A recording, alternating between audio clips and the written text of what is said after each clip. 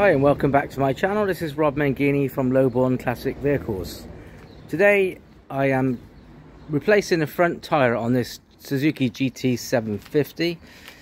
Most important part was to support the rear end because there's no stand on this bike because of the cans. So I've had to make up uh, or pack up on, with spacers this actual motorbike stand to clear the cans etc so that's all quite nice and solid. Then I've had to pack the engine and I had to cut some blocks so it's equal otherwise the bike would have tilted. So that's done quite nicely. And then that allowed me to remove the spindle and all the bits and undo the calipers because obviously you can't get the tyre out with the calipers in place.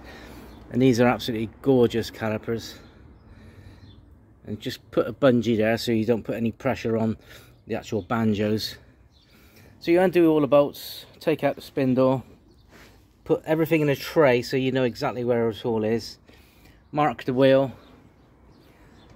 The wheel did actually come down. I had to let the tyre down though because of the the actual mudguard bolts were hitting the tyre.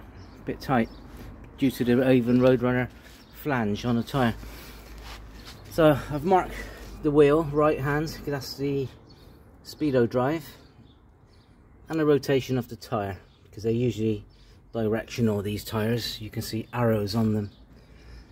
I uh, don't know where it is on that one now. There it is, wheel rotation.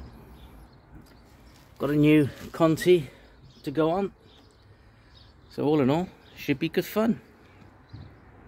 Thanks for watching.